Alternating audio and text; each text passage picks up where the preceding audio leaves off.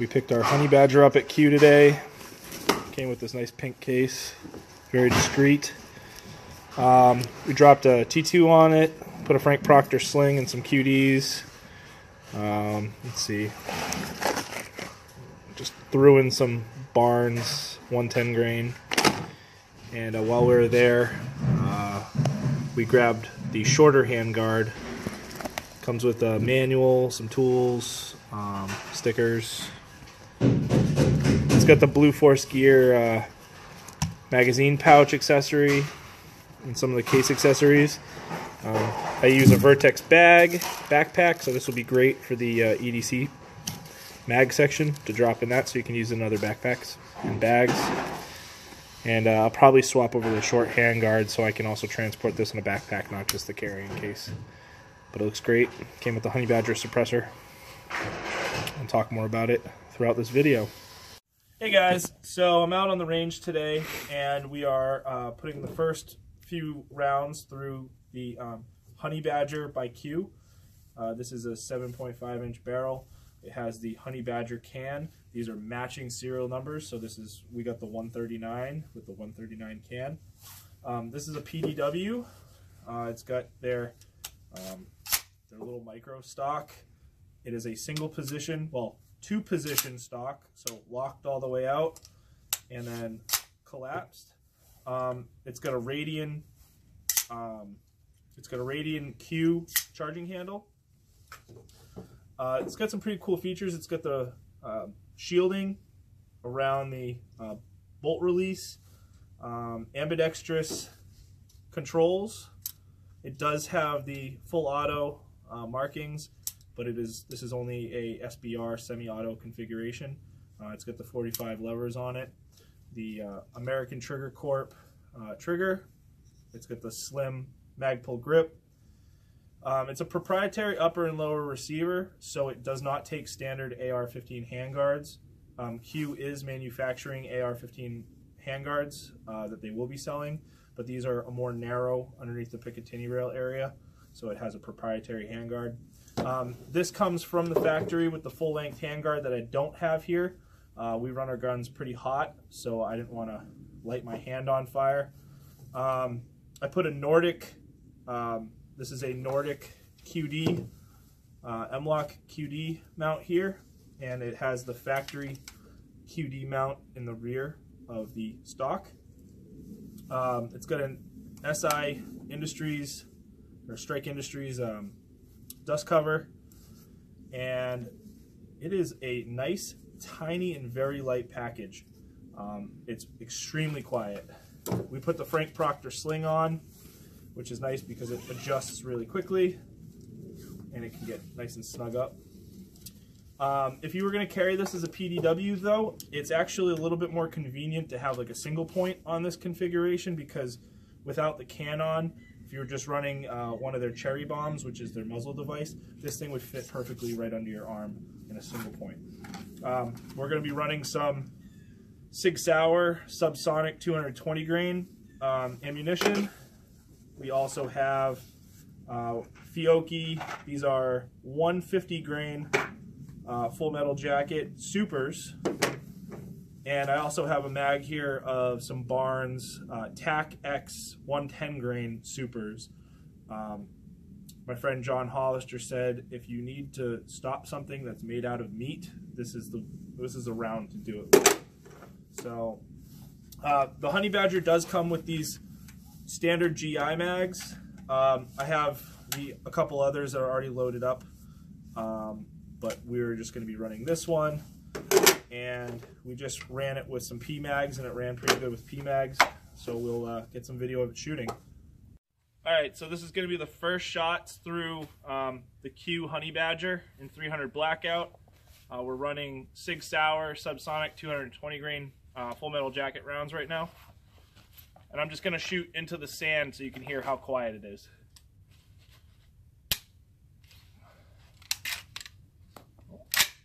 maybe it doesn't like that mag. Wow.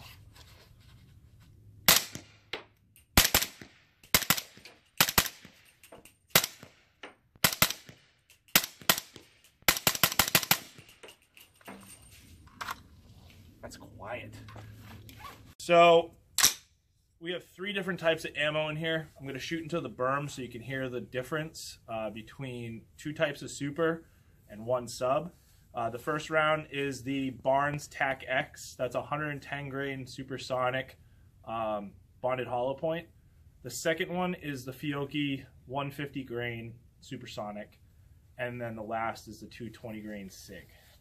So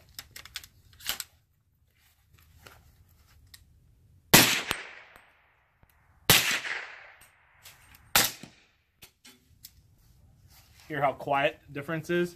The Fiocchi and the Barnes sounded very similar. You still get the bullet crack. It's still going super.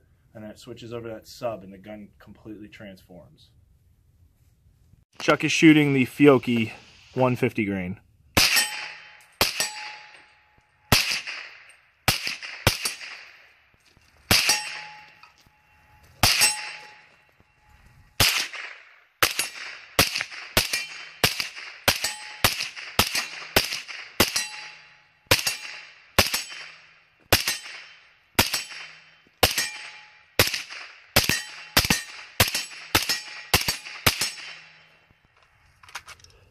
Dude, that thing hits like a truck. Solid. It smells great too.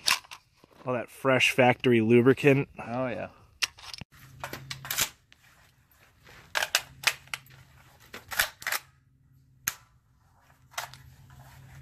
Come on. Doesn't like the cold.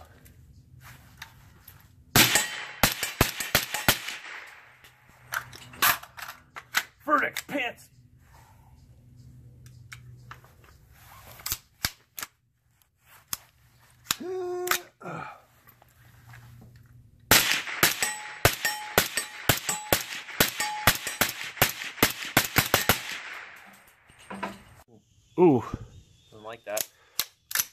There we go. it's a little cold out. We're learning that this needs to break in a little bit. Doesn't like PMags as much as it likes the GIs. Probably why it comes with GIs. Wow, got hit right in the nose. Oops.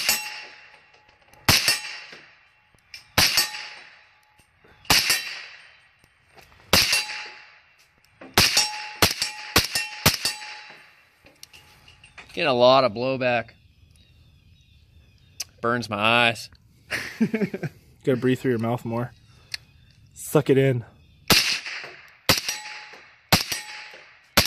Drop the mag.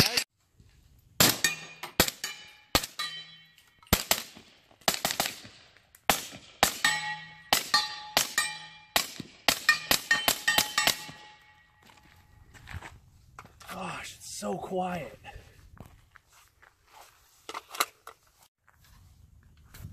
Blowback. It's going in my eye. Getting, getting toasty.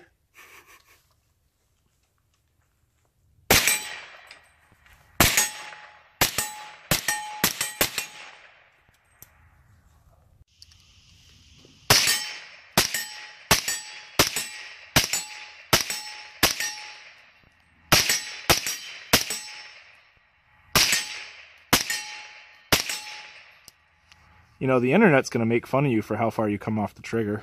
Oh yeah. I'm not a I'm not a speed shooter. Marine. Just wrapping up our day on the Honey Badger.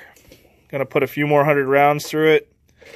Um, really liking everything so far. It's super light, super quiet. It just feels great in the hands.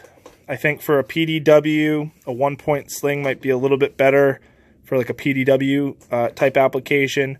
But if you're running this in a class, uh, a two point would definitely be more comfortable. Um, it's definitely it holds up pretty well. There's a little bit of wear there uh, from snapping it in. Um, this finish is awesome, but it's going to get pretty dirty pretty quick. You can see how dirty the magwell's already getting from blowback.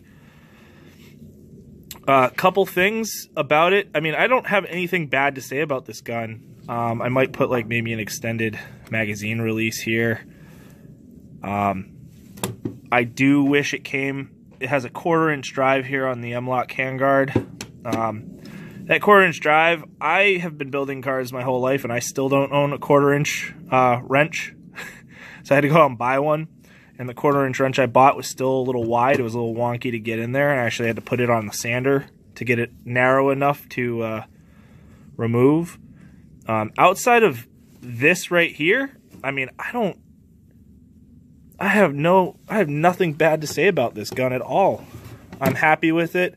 I historically have had poor luck with these Raptors on uh, short guns. I've had them blow out the top of the receivers and wear them out. I have no issues with this. There's a little bit of blowback coming out, but this is a fresh factory gun. So it's got some pretty heavy uh, lubrication in there that haven't hasn't blown out yet. Um, outside of that, it's fantastic. I'll probably uh, do another video with the full length handguard on, bring a little temperature gauge, see how hot it gets. Um, when you do have the full length handguard on, though, basically all these M-LOK panels from the can forward are rendered are rendered useless. you can't really fit anything. Um, you can't really fit any uh, accessories on the handguard forward other than the pick rail. So that might be my only complaint about the full length one. And I could touch the suppressor through the M-LOK on the full length. So that's why I switched over to the shorty because we do we do run our guns um, hot and uh, hot and fast. So, but for a hunting application where you need to put some longer optics, maybe some night vision on the front if you're hunting pigs or something like that, um, you know, the longer handguard wouldn't be a problem. Guys, click like, subscribe, check us out, leave a comment. We love to hear feedback.